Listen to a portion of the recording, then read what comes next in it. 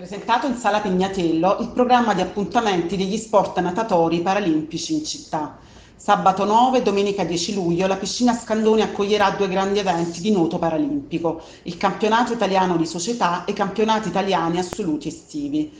Da giovedì 14 a domenica 17 luglio, sempre alla Scandone, sarà poi la volta della pallanuoto. Le otto squadre paralimpiche di Serie A si contenderanno lo scudetto del campionato italiano. Adesso siamo reduci dal campionato del mondo con 64 medaglie vinte, facciamo adesso alla fine di questa settimana, il prossimo sabato e domenica faremo i campionati italiani di nuoto paralimpico e poi il prossimo giovedì, venerdì, sabato e domenica ci sarà la pallanuoto paralimpica che è il eh, secondo anno in buona sostanza, che è rinata dopo una metamorfosi un pochino più lunga, c'era stata una facciata di finestra negli anni 80, poi si è spenta, adesso sono due anni che è ripartita alla grande con otto squadre il campionato e verrà fatto quest'altro giovedì, venerdì, sabato domenica, quindi Napoli insomma in qualche maniera diventa pedina inamovibile del nostro movimento, è una bellissima esperienza, abbiamo la Scandone rifatta completamente, quindi è una grandissima gioia, è un grandissimo onore per noi avere questa finestra così importante, una piscina così, così anche nuotabile da un punto di vista anche tecnico. E poi sul territorio, ripeto, abbiamo Enzallocco, Vittorio Bede, insomma abbiamo personaggi che mandano avanti,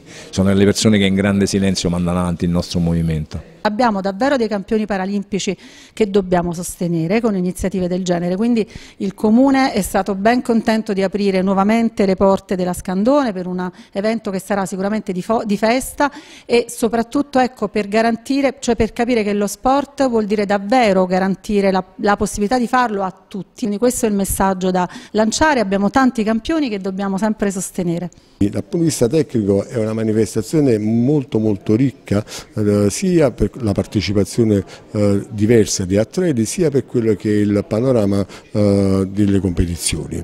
Eh, per quanto riguarda la possibilità di organizzarla qui a Napoli, oggi posso dire con orgoglio pure che Napoli eh, si è tinta eh, di tricolore dall'inizio dell'anno. Eh, Quest'anno, eh, subito dopo il recupero delle attività eh, legate chiaramente alla pandemia, siamo stati eh, in grado di poter organizzare il collegiale pre-mondiale, quindi la nazionale di nuoto è stata qui ospite a Napoli per otto giorni e presso la piscina Scardone dove ha fatto il collegiale di preparazione eh, prima di partire per Madeira. Abbiamo organizzato i campionati di nuoto assoluto e, eh, e di società e infine il campionato italiano di, di pallanuoto. Quindi capitale del nuoto paralimpico e del nuoto paralimpico di, di successo.